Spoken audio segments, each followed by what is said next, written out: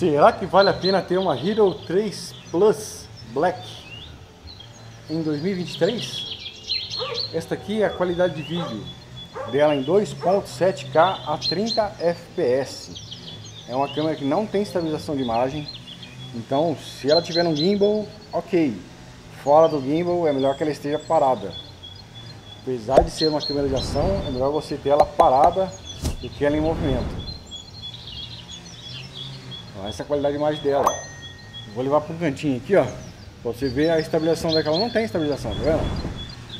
Então a câmera que você tem que manter ela parada. Mas aqui, ó. Ela parada, a qualidade de vídeo dela é muito bom. Tá vendo?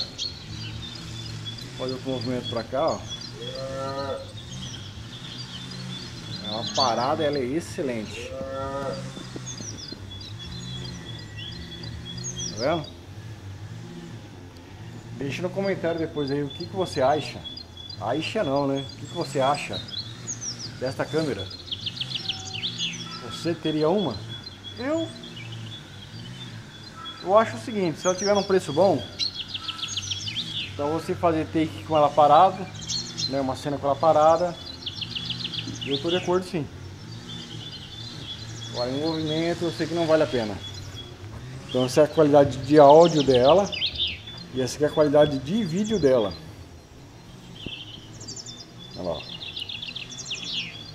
Qualidade de vídeo dela.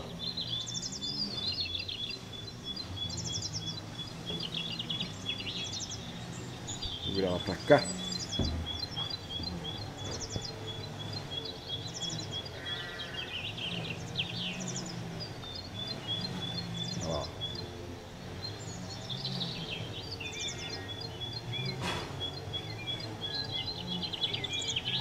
GoPro Hero 3 Plus. Teste de vídeo em 2.7K. Depois vamos fazer um teste aqui em 4K a 15 FPS, que é o limite dela. Vamos ver como é que ela vai reagir.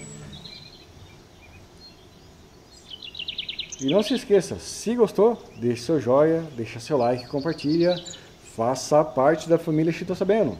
E eu te vejo na próxima.